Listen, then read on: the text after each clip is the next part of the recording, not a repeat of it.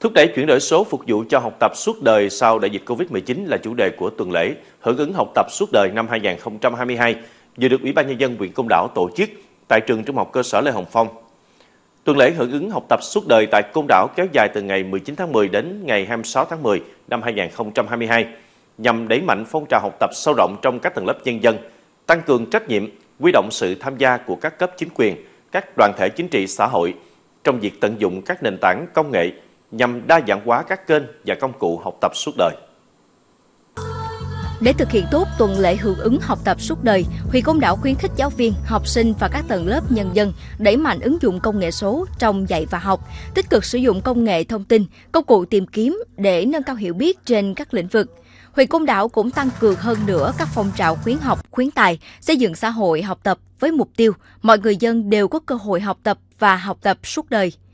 Nhân dịp lễ khai mạc hưởng ứng tuần lễ học tập suốt đời, Hội khuyến học huyện Côn Đảo đã trao tặng 10 suất học bổng với mỗi suất trị giá 1 triệu đồng cho các em học sinh có hoàn cảnh khó khăn, học giỏi tại huyện Côn Đảo.